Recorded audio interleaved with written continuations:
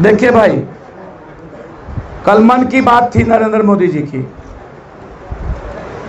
और दिल की बात वो देश का नहीं सुनते हैं। वो झुंझुना की बात कर लिए।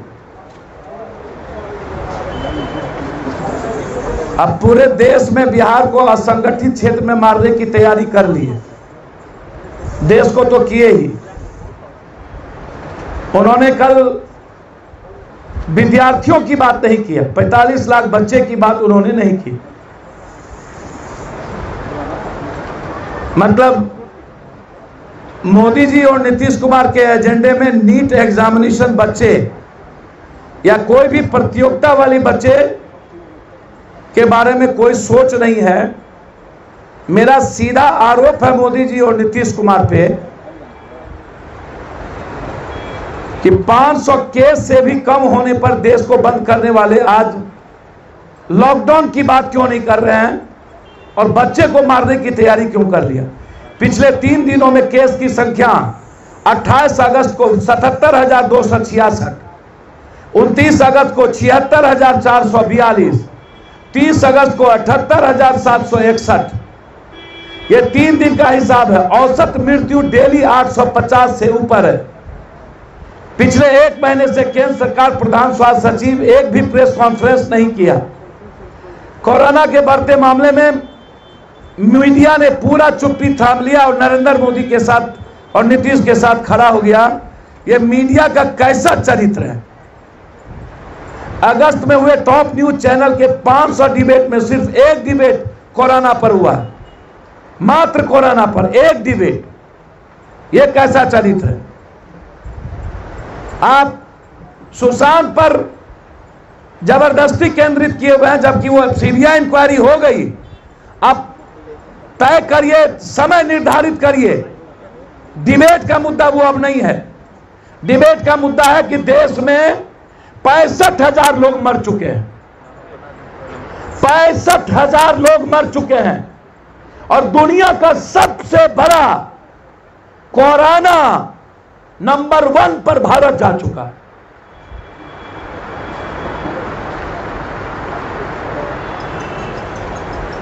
इससे बड़ा जघन्य अपराध क्या हो सकता है? और उसके बाद 45 लाख के स्टूडेंट को मरवाने की तैयारी। यह दुखद है भाई। इससे बड़ा दुखद मैं समझता हूँ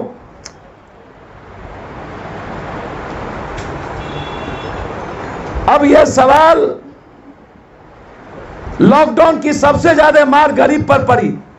सुनियोजित तरीके से गरीब बनाया जा रहा है, सुनियोजित। और सिर्फ़ सिर्फ़ पूंजीपतियों के लिए, अदानी, अंबानी इनके लिए। 40 करोड़ लोग अत्यधिक गरीब से ग्रसित हो चुके हैं नोटबंदी जीएसटी के बाद कोरोना वायरस में। पिछले 45 साल में बेरोजगारी अपने सबसे ऊंचाई स्थान पर है। सबसे। बिहार की 88 प्रतिशत कामकाजी आबादी ऐसी है जो रोज कमाती खाती है उन सभी को सरकार ने अत्यधिक गरीबी में धकेल दिया। और नीतीश कुमार सबसे बड़ा दुश्मन है बिहार के इस गरीब के। पहले गरीबी सरकार नारा होता था, गरीबी हटाओ। अब यह नारा हो गया, गरीबी बढ़ाओ। नरेंद्र मोदी जी और नीतीश कुमार गरीबी बढ़ाने की तैयारी। जानबूझकर अडानी, अंबानी गुलाम बनाया जा रहा है। भारत का सबसे अमीर व्यक्ति होकर अपने कर्मचारियों को निकाल सकता है। वो व्यापारियों के लिए देश क्या कुछ सोचेगा। यह सवाल सीधा है कि कोरोना वायरस पर क्यों कोई चर्चा नहीं हो रही है?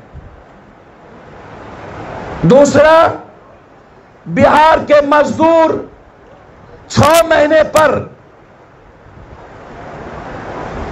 उनको पैसा देकर प्लेन का टिकट भेज करके बिहार से ले जाया जा रहा है।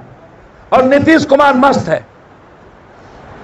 तीसरा चुनाव के महीने में नीतीश कुमार का उद्घाटन और घोषण क्यों?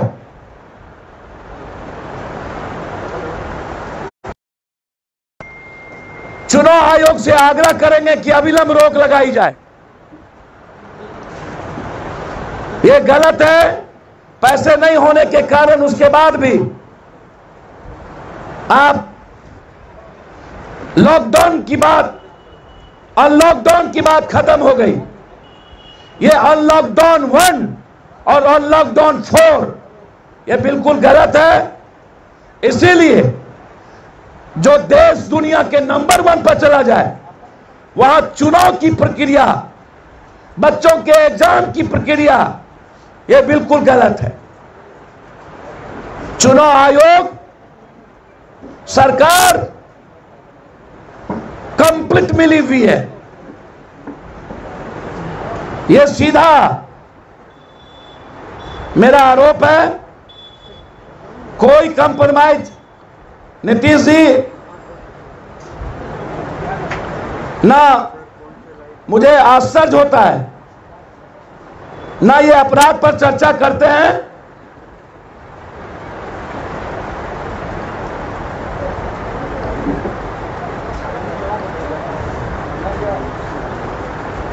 आश्चर्य होगा आपको कि बिहार की स्थिति में बहुत क्लियर है।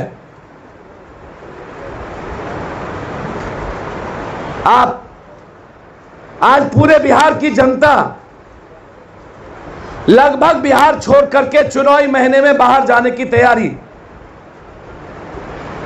और एक भी आदमी उस पर रोक नहीं है आए हुए मजदूरों के साथ नीतीश कुमार ने अपराध किया है। जघन्य अपराध। घोर, बड़ी घटना। और अभी भी 50 लाख लोग घर वापस नहीं लौटे हैं बाढ़ के। लेकिन इक्कीस तारीख के बाद सभा अब शुरू होगी क्या कोरोना वायरस देश से खत्म हो गया? क्या पॉजिटिव केस खत्म हो गए? हम लोगों ने आज तय किया है। पहला राज्य संसदीय board, professor Abhay Kumar chemistry के head of department Patna university वो संसदीय बोर्ड के चेयरमैन होंगे। राज्य संसदीय बोर्ड, सचिव होंगे श्री अवधेश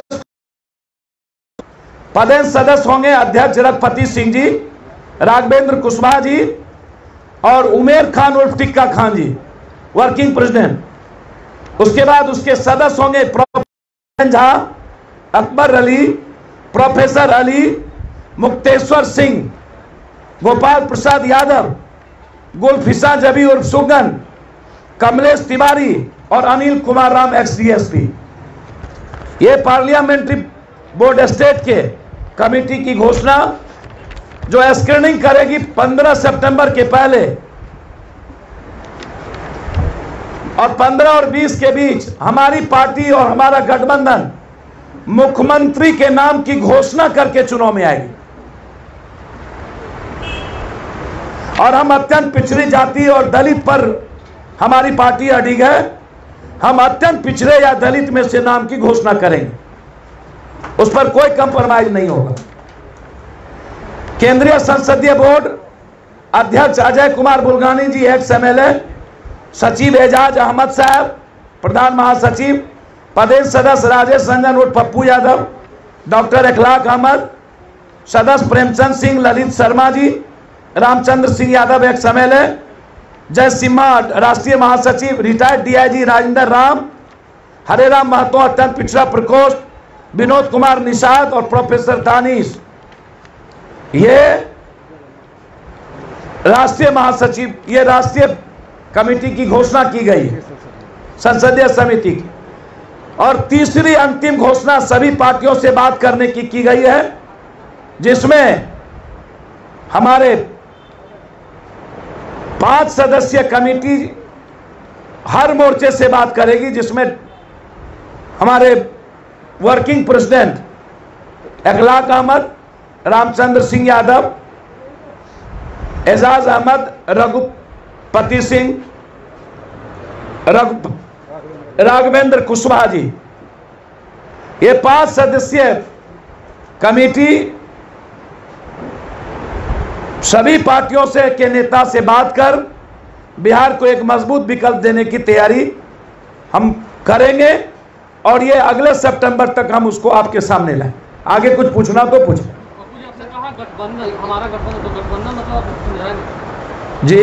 आपने कि ये सदस्य टीम है सभी पार्टियों के नेताओं से बात करेंगे। ये तीसरा कमेटी जो होगी वो वो मैंने बताया।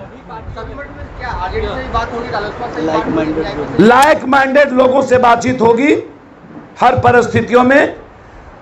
जो 30 साल हम किसी से भी बात करेंगे 30 साल में जो सरकार में शीर्षक पर रह करके काम किया है ज़रूरी नहीं हम उससे बात करेंगे लेकिन उस दल से भी बात करेंगे।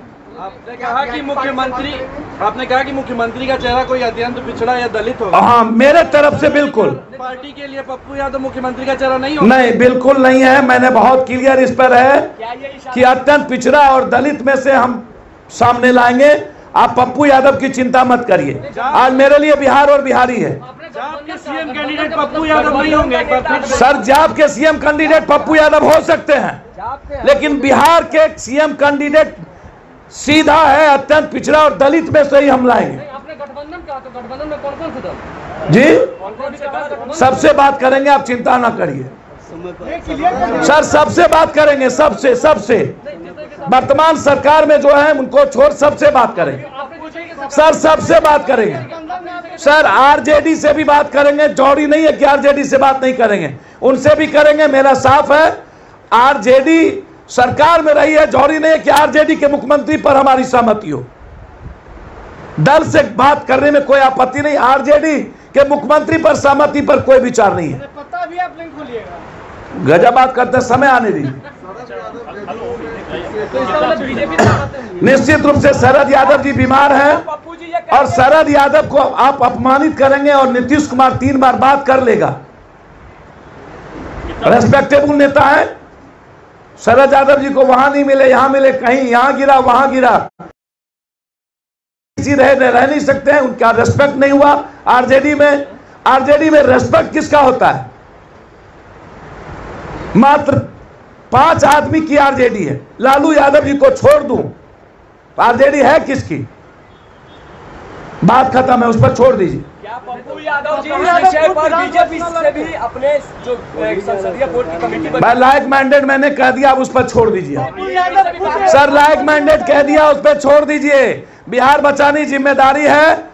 जो दो आदमी तीस साल रहे मेरा वहाँ समझौता के अलावे सबसे बात करें भैया पार्टी तय जो करेगी, संसदीय कमेटी बना दी गई, वो तय करेगी तो उसी, वो हाँ कहेगी तो लड़ेंगे, ना कहेगी तो नहीं लड़ेंगे। लेकिन वाल्मीकि नगर का बाय इलेक्शन हमारी पार्टी या कोई ना कोई अच्छा उम्मीदवार वहाँ सपोर्ट करेगी। वाल्मीकि नगर में चुनाव लड़ेंगे। सबसे बात हो रही है माझी जी से भी बात हो रही है, मुकेश सहनी से भी बात हो रही है कुछ उपेंद्र कुशवाहा जी से भी बात हो रही है, डेली बात हो रही है डेली बात होगी। कब तक मुहर लगेगी सर? सर मुहर उनको लगाना मैं बात डेली कर रहा हूँ। सर हम पाँच साल पर औकात बताएँगे नीतीश कुमार को। पाँच साल का श्वेत पत्र जारी करे कोई पंद्रह साल पंद्रह साल की चीज़ नहीं होगी। पाँच साल की बात होगी। डेली बात हो रही है। सर मेरे तरफ़ से अत्यंत पिछड़ा और दलित सीधा सामने है उस पर कोई कंप्रोमाइज नहीं है। सर नल जल योजना सरकार सर नल जल योजना घोटाला योजना है बर्बाद योजना है आवास योजना है और पार्टी फंड इकट्ठा करने वाला योजना है। कंप्लीट नहीं हुई योजना कंप्लीट नहीं हुई और उसका उद्घाटन सर उद्घाटन सीएम मैंने पहले कहा चुनाव आयोग को रोक लगाना चाहिए। ये बिल्कुल है। तीन महीना चुनाव के पहले कोई उद्घाटन और शिलान्यास नहीं होनी चाहिए थी। सर जदयू के संजय सिंह कहते हैं कि फ्रंट में कोई दम नहीं है पप्पू यादव इसको सीएम बनाते हैं कल उसको कल सर मैंने किसी को सीएम नहीं बनाया। मैं दलित और रतन पिछड़ा पर दो सालों से इकट्ठा हूँ और यदि उसी के गठबंधन के लोग कह रहे हैं खुद उनसे पूछिए कि वो विकास नहीं किया तो वो उनकी बात करें मैं उनकी बात नहीं करना चाहूँगा। अब वो उन लोगों का जवाब नहीं दूँगा जो परजीवी हैं जो अपना जमीर और अपना चरित्र बेच करके राजनीति करते हैं मुँह मत खोलवाइए क्या क्या बेचते हैं। बोल देंगे तो बड़ा अनर्थ हो जाएगा। सबका पता है कि किस घर में क्या बेचते हैं। आपने कहा दलित और अति पिछड़े की बात आप क्या अल्पसंख्यकों को जगह नहीं दे सर अल्पसंख्यक रहेंगे डिप्टी सीएम रहेंगे। सर डेढ़ डेढ़ सौ सीट पे आप लड़िएगा सरकार कैसे बनाइए? ऊँची जातु में से डिप्टी सीएम रहेंगे। जौहरी थोड़ी हम 100 सीट पर आ जाएँगे गठबंधन मज़बूत होगा हम नीचे आ जाएँगे। आप काहे चिंता करते हैं? एक आदमी की सरकार कैसे बन गई? ये तो तय है कि पंद्रह साल पंद्रह साल से बात नहीं करें नहीं पाँच साल पर बात करेंगे। पंद्रह साल पंद्रह साल क्या होता है? पहले ही पंद्रह साल का जवाब देना ही पाँच साल का। नीतीश कुमार ही पाँच साल का जवाब देना। पंद्रह साल तो जवाब जो बिहार की जनता को देना था दे दी। अब वो कहीं है ही नहीं वो मुद्दा ही नहीं है। मुद्दा वर्तमान में है। और वर्तमान मुद्दा पर हम बहस करेंगे अतीत पे नहीं।